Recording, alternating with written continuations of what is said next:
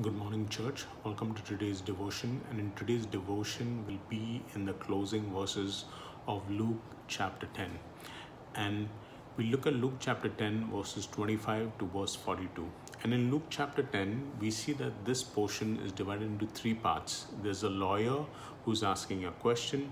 Then, second, Jesus tells the parable of the Good Samaritan. And third, verses 38 to 42, Jesus is in the house of Mary and Martha.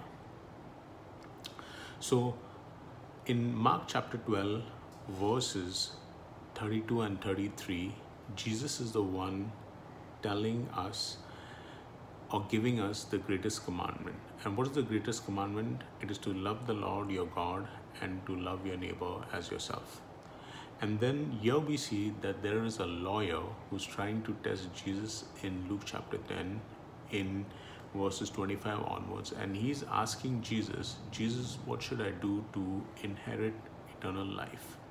So, Jesus, being a rabbi, in those days, what would happen is when a rabbi is trying to teach someone, he would ask a question that would lead the person thinking in the direction he wanted them to think. So here is Jesus, you know, asking this lawyer uh, a question, and he asks, What is written in the law? How does it read to you? So here we see that in response to Jesus's question, the lawyer quotes Deuteronomy 6 verse 5 and Leviticus 19 verse 18.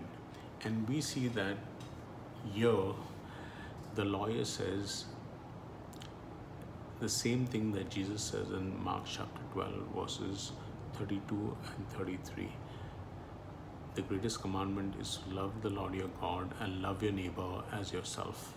And why is Jesus telling this parable of the Good Samaritan? First and the why does the story of Mary and Martha come after that? It is because of this that many times we can love God and we forget to love our neighbor.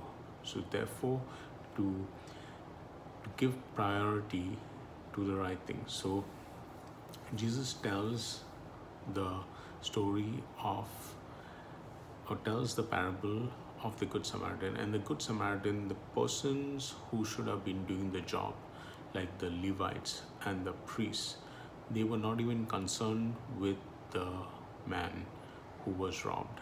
There was a man who was robbed and he was laying by the roadside, and these guys didn't even care for him. But we see in this parable that there was a Samaritan. Now, a Samaritan was an outcast.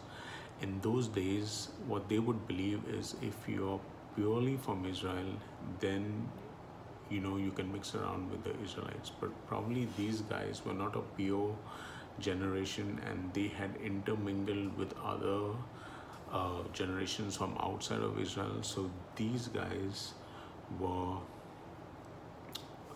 were enemies.